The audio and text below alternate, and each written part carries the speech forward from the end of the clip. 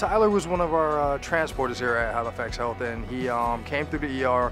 And a couple times he asked about what it took to work down in the ED. He was 16, and it was kind of shocking to me when uh, he came down. But he stayed on top of things. He learned. He asked lots of questions. I've learned that the medical field isn't an easy job.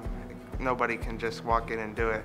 It definitely takes a lot of confidence because you don't know what walks through that door every day. It's just been great seeing seeing him um, grow and uh, get more confident in his role. When I talk to my friends, they are all they're shocked. They they don't know what to say. They don't believe me sometimes, and I'm like, I'm for real. I for real work in the emergency department. He calls to ask if he can come in, pick up extra shifts. Um, he's just been been a very good employee for the department.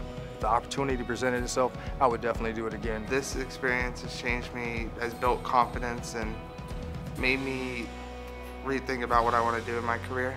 I'm looking at being a PA, a physician's assistant, and so this has definitely made me find out what I really want to do after high school.